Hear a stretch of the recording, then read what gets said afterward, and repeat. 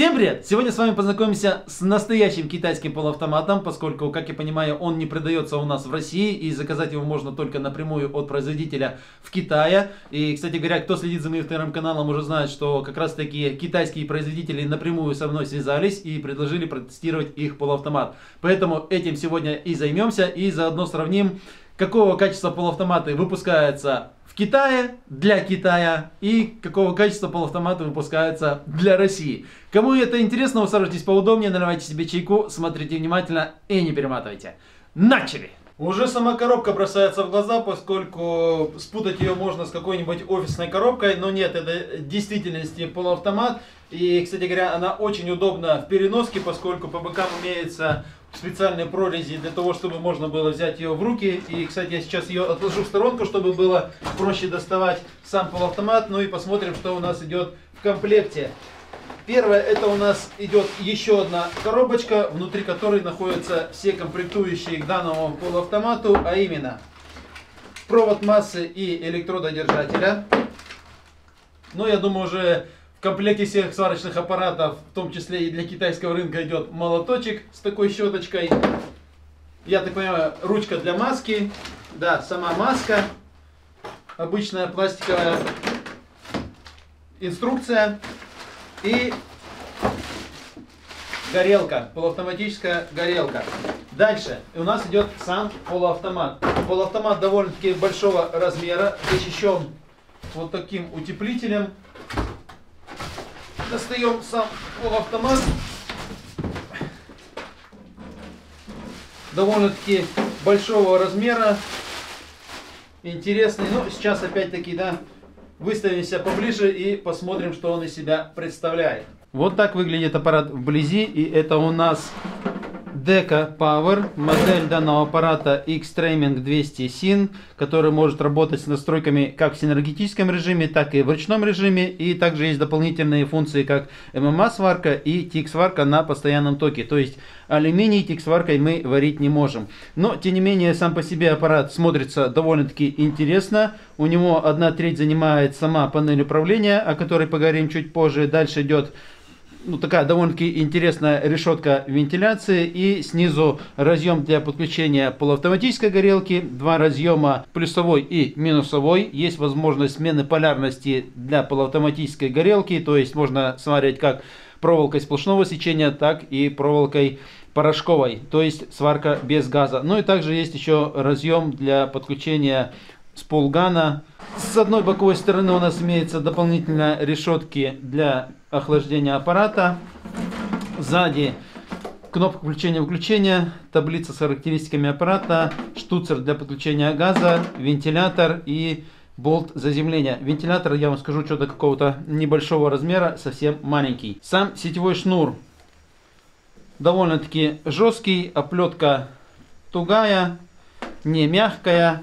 Но по длине данный шнур у нас в районе 2 метров и сечение 3 на 2,5. Но тем не менее, да, оплетка немножко жестковата, и я думаю, что, скорее всего, ее необходимо будет заменить, поскольку при использовании данного аппарата в холодных зимних условиях он будет трескаться, если постоянно им пользоваться.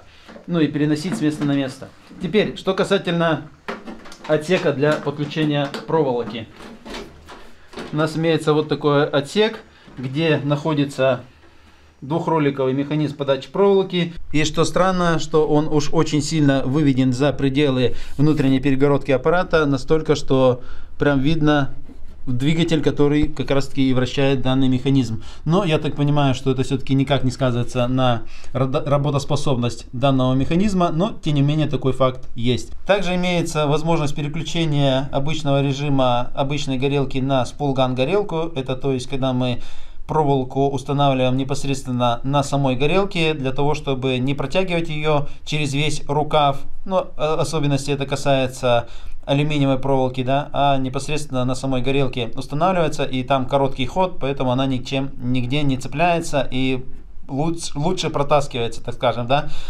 Но у меня такой горелки в наличии нет, поэтому протестировать ее не получится. Ну и, соответственно, также есть имеется крепеж под саму катушку. Есть возможность установки как 5-килограммовой катушки, так и 1-килограммовой. Что касательно проводов электрододержателя и массы, то они тоже довольно-таки жесткие, тугие, и оплетка не очень хорошего качества. То есть при использовании данного аппарата зимой они будут довольно-таки быстро лопаться.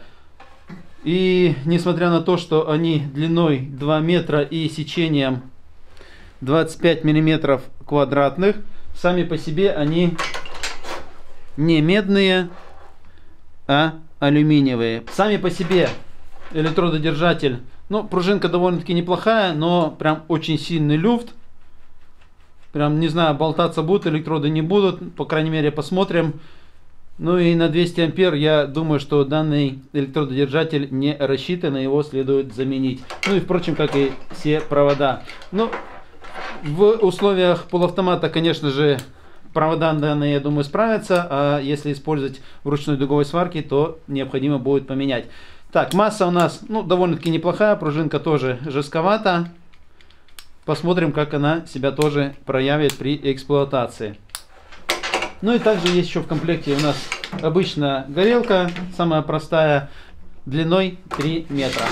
Теперь, что касательно настройки функционала данного аппарата, как я говорил уже ранее, данным полуавтоматом можно работать как раз таки в режиме полуавтомата с энергетическими настройками с ручными настройками. Также есть возможность работы ММА сварка, то есть электродом, и тик сварка. Но будем разбираться по порядку, поскольку функционал у аппарата достаточно большой и разбираться с ним придется основательно. Но начнем с самого простого, а именно это то, что у нас есть возможность выбора, выбора как свариваемого металла, так и используемого под него газа. То есть нажатием на эту кнопку мы можем выбрать как свариваемый металл, так и используемый газ. То есть сейчас у нас как моргает, это значит обычная сталь и углекислота.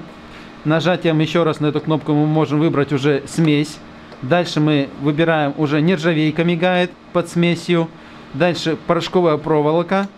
Следом идет алюминиево-магниевые сплавы. Аргон чисто моргает, моргает. И алюминиево-кремниевые сплавы также моргает аргон. То есть СО2 вы не выберете. Но мы вернемся к обычной стали.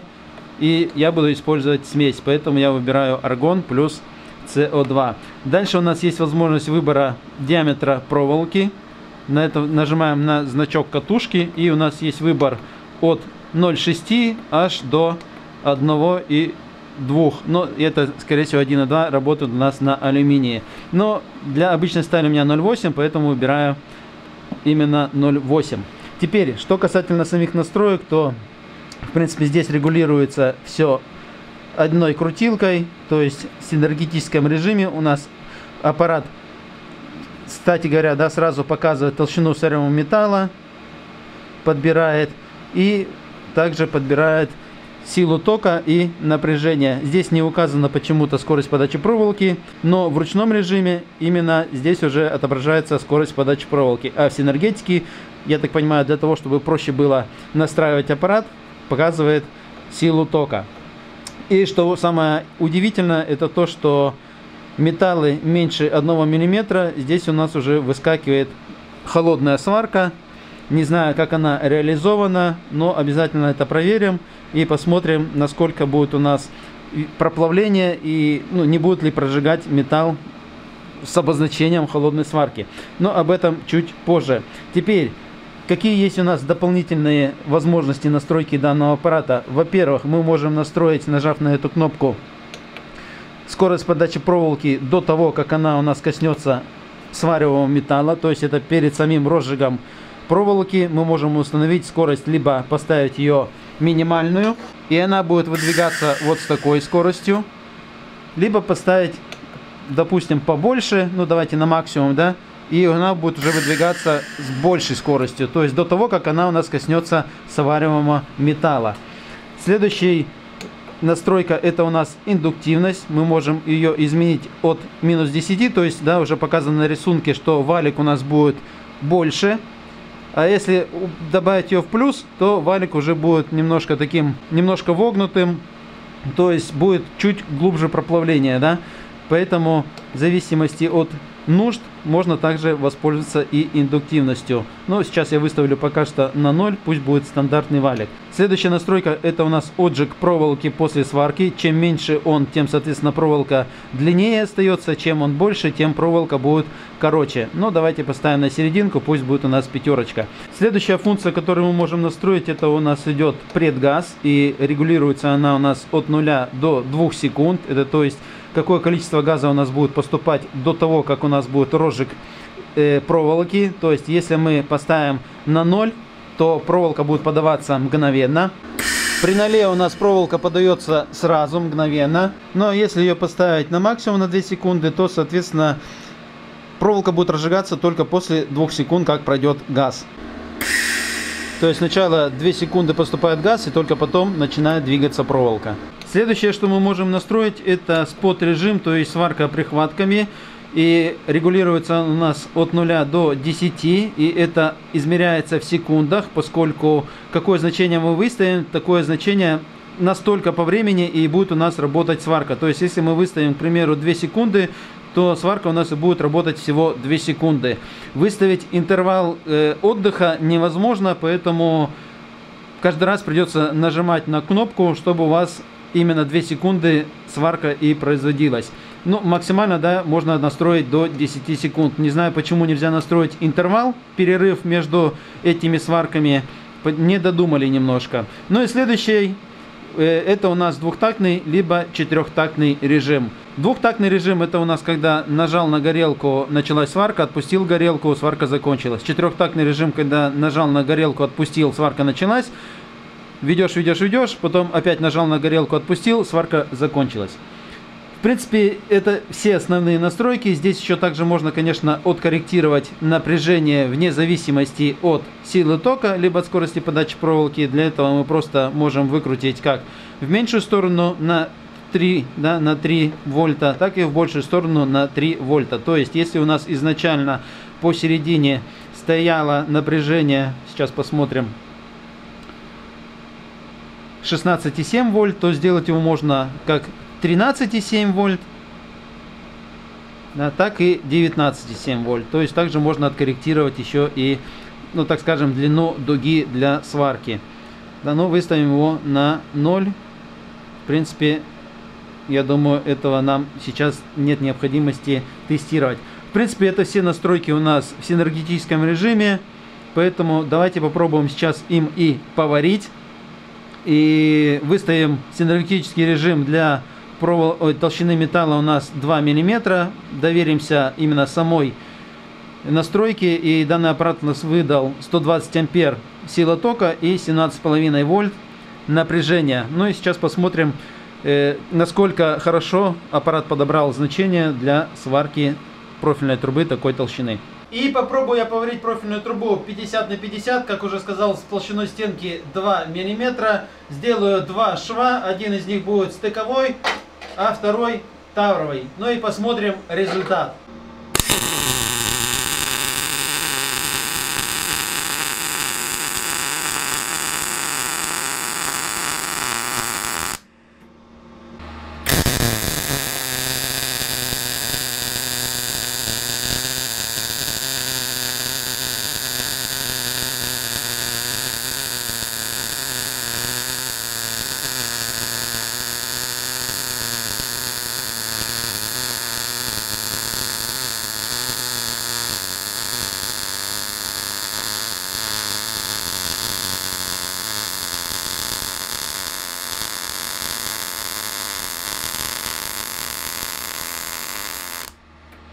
Вот такие шовчики у меня получились, в принципе неплохо, но я бы под себя немножко скорректировал, поскольку уж очень медленно подавалась проволока и приходилось очень долго стоять на одном месте.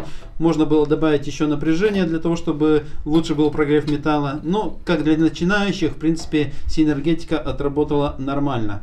С небольшой толщиной, в принципе, аппарат справляется нормально. Теперь давайте посмотрим, как он будет творить максимальную толщину, допустимую для нашей толщины проволоки 0,8 мм. И это у нас 3,7 мм, а параметры 170 ампер и 19,7 вольт. Самые близкие по толщине металла у меня оказалась вот такая пластинка, примерно как раз таки где-то 4 мм, и профильная труба 60 на 60, также 4 мм. Сейчас я их состыкую опять же в тавровом соединении и посмотрим, что у нас из этого получится.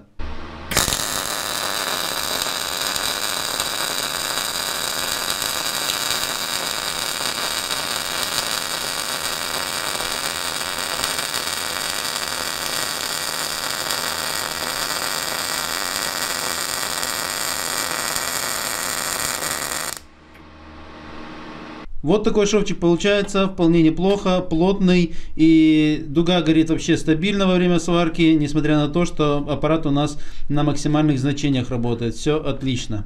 Можно еще режим спот попробовать.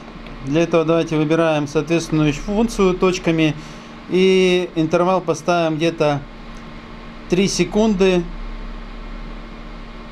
но чуть-чуть уменьшим, наверное, характеристики аппарата и где-то выставим, наверное, на троечку для толщины 3 мм. У нас будет 154 ампера, 19,1 вольта. И заодно посмотрим, насколько одинаковые швы у нас будут получаться. Варить я буду на обычной пластинке, сделаю, наверное, 5 швов и посмотрим, насколько сильно они будут отличаться по длине друг от друга. И, как я уже сказал, что спот здесь работает только один раз, то есть мы нажали, он 3 секунды отработал, все, выключился. Для того, чтобы он снова заработал, опять придется нажимать на кнопку. Но, тем не менее, расстояния у швов должны получиться одинаковые. Ну, смотрим.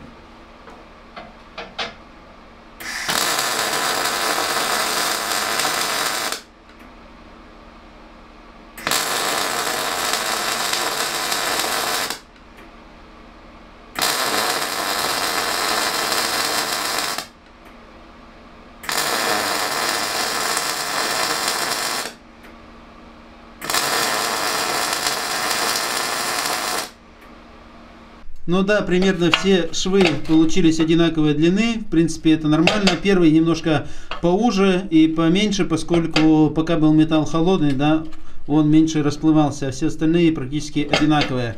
Но опять же, да, неудобство спота в том, что приходится постоянно нажимать на кнопку гораздо было бы лучше, если был бы еще интервал, когда между сваркой, да. То есть выставил по времени, сколько необходимо делать на прихватку, выставил по времени, сколько необходим интервал между прихватками и один раз нажал на кнопку и поехал варить. А тут приходится каждый раз нажимать на кнопку постоянно. Но тем не менее, в принципе, вроде как швы получились более-менее одинаковой длины.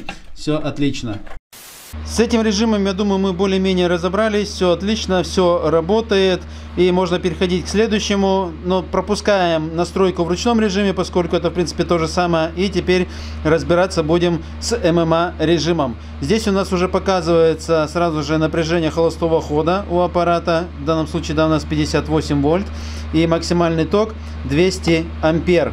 Ну, а минимальный получается 20. Также еще есть подсказка по диаметру электрода, на каком токе какой диаметр электрода рекомендуется использовать. И также есть дополнительные настройки, как функция VRD. Если ее включить, то у нас получается напряжение холостого хода падает до 20 вольт безопасных для человека. Но сейчас она мне не нужна, поэтому я ее выключу. Следующее это антизалипание. Также ее можно как включить, так и выключить. Горячий старт у нас от 0 до 10, не знаю в процентном соотношении, либо как-то еще разбит он, обязательно это проверим. Ну и форсаж дуги также от 0 до 10. Ну и в принципе давайте начнем, наверное, с антизалипания, проверим работает ли оно и дальше уже по схеме будем проверять остальные функции. Но для этого давайте я ток увеличу где-то до 90 ампер. Так, хотя аппарат все еще рекомендует 2,5 диаметра электроды, да, но тут уже можно смело использовать тройку. А тройка тут откуда начинается? А, тут потому что 3,2, да? Ну, где-то 100 ампер на 3,2. Ну, в общем, 90 ампер, берем тройку и проверяем. Ну что, проверяем. Да, электрод отлип. Сейчас посмотрим, меняется ли у нас показания. Так, вольтаж скидывается на до единички, до нуля, да, практически. И получается у нас происходит отлипание электрода вообще без какой-либо вспышки. Все отлично, антизалипание здесь работает безупречно. Отлично. Поэтому можно смело уже переходить к следующему, а именно горячему старту. Ну и давайте поставим его на максимум. У нас на десяточку, да, а ток, ну давайте, может быть, уменьшим где-то до 60. Также троечкой проверяем. Да, вспышка какая-то была. Еще раз. Да, чувствуется. Ну, я думаю, визуально это прекрасно видно. Итак, горячий старт у нас отработал отлично. Теперь давайте проверяем форсаж дуги. Для этого горячий старт я выкручиваю на 0, а форсаж дуги на максимальный. Но ток я давайте уменьшу еще, наверное, на двадцатку. И итого у нас получается 40 ампер. И этот он уже соответствует диаметру электрода 1,6 мм. Ну, а я, как обычно, уже попробую троечкой поварить. Ну, пробуем. В принципе, электрод горит вообще достаточно неплохо для 40 ампер. Но какие-то вроде вспышки есть, поэтому можно сказать, что форсаж дуги у нас отрабатывает. Ну и посмотрим, что у нас тут получилось. Шовчик получился отличный, плотный, нигде его не зашлаковало. И это опять-таки при том, что пробовал варить я на пластинке толщиной 4 мм. Все отлично. По моим ощущениям, форсаж дуги отработал, все отлично, но давайте его все-таки еще раз перепроверим и попробуем поварить без него. Для этого сейчас я его вырубаю на 0, а ток оставляю 40 ампер, ну и посмотрим, будет ли видна разница.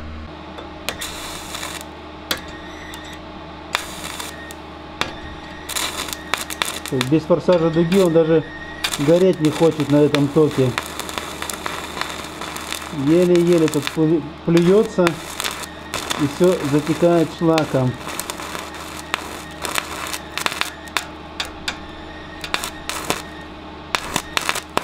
Но ни в какую. Но этот шовчик, я уже думаю, смысла отбивать нет, поскольку, ну, вышел он, прям скажем, не очень. Какие-то одни вкрапления шариков и полностью все зашлаковано. И, кстати говоря, на что обратил внимание, это то, что если функции не включены, то они и не отображаются. Если я их включаю, ну давайте VRD включим, включим горячий старт, и, соответственно, они у нас тогда будут отображаться. Вот VRD и горячий старт отображается, это значит, что они работают. Прикольно. На удивление, все дополнительные функции в режиме ручной дуговой сварки отработали и отработали хорошо. А почему это удивляет? Да потому что в основном производители полуавтоматов ну, мало уделяют этому внимания. Да, они могут добавить режим ручной дуговой сварки к полуавтомату, а вот именно отключаемая функция ВРД, горячий старт, антизалипание, форсаж дуги, ну вот этим мало кто занимается и ну, реально удивляет то, что у этого полуавтомата все эти функции работают. Прям отлично. Ну и сейчас положу еще один шовчик, посмотрю, как у меня будет гореть дуга, насколько она мягкая. Ну, хотя на самом деле на полуавтомате очень мягкая дуга у электрода, поэтому я не сомневаюсь, что она будет гореть отлично. Но тем не менее, попробую положить шовчик, ну и посмотрим, что из этого получилось. Раз у меня осталось еще место, где можно проводить тестирование, это профильная труба 50 на 50 с толщиной стенки 2 мм, на которой я пробовал варить полуавтоматом. И сейчас попробую здесь же поварить электродом. Как я уже сказал, выставил 90 ампер, а все дополнительные функции выключил. У меня рекомендуемая диаметр электрода 2,5 мм, но я буду варить троечкой.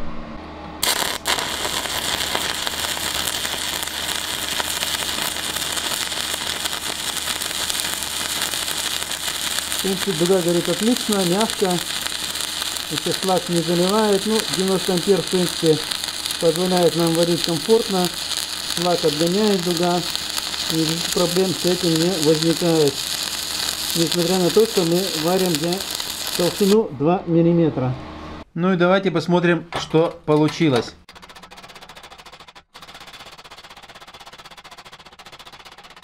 Вот такой шовчик получился, вообще отличный, плотный, никаких косяков здесь нет.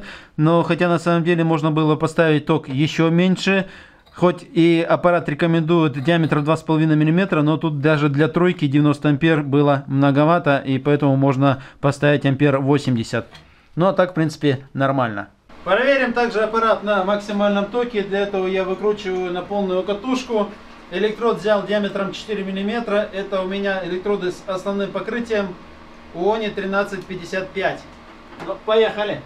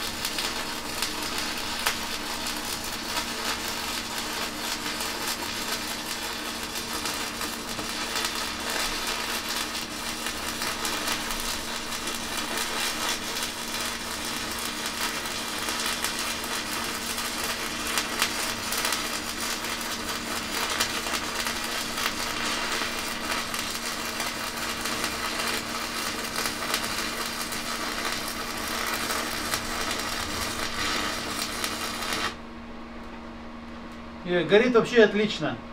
200 ампер здесь явно есть. Смотрим, что получилось. Ну, тут уже металл толстый, поэтому варилось прям вообще отлично. Никаких проблем не возникало. Ну и, соответственно, шовчик получается тоже отличный. Вот такой результат получился. Меня устраивает полностью. Ну и осталось проверить, как у нас отработает тик-сварка. Здесь, я так понимаю, никаких больше дополнительных настроек нет. Только ток от 20 до 200 ампер, как я уже говорил. И напряжение холостого хода у нас здесь всего лишь 15 вольт. Ну, давайте сейчас выставлю где-то ампер, может быть 50, и попробуем поварить профильную трубу с толщиной стенки 1,5 миллиметра. И попробую положить шовчик на профильной трубе 30 на 30 с толщиной стенки, как я уже говорил, 1,5 мм. Здесь в одном из видео Серега уже пробовал каким-то аппаратом варить. Но так как тут осталось место, то попробую и я. Заодно посмотрим, есть ли в данном аппарате функция лифтик и как плавно будет разжигаться у нас электрод. Поехали!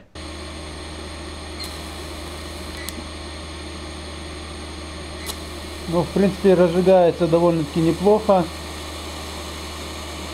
Ну и, соответственно, сама сварка тоже производится отлично. Рука у меня дрожит, неудобно варить. Честно говоря, не ощутил, что здесь есть лифтик, поскольку, как по мне, так розжиг электрода происходил на том же самом токе, что и сама сварка. То есть он не плавно разжигал, а прям именно тем самым током, который мы выставляем. Но, тем не менее, в принципе, сварка проходит отлично, контролируется легко, но, опять же, именно отсутствие лифтига будет сказываться на самом электроде, и его постоянно необходимо будет подтачивать. Ну, а так, в принципе, работать им тоже можно. На самом деле довольно интересный получился полуавтомат у китайцев. Особенно радует то, что в режиме ручной дуговой сварки работают все дополнительные функции. Ну и в принципе сам полуавтомат также отлично работает. Огорчает лишь только то, что опять-таки в наличии у нас алюминиевые провода. Правда уже сечением 25 мм квадратных, но все же их стоит заменить при э, постоянном использовании данного аппарата, в особенности на больших токах.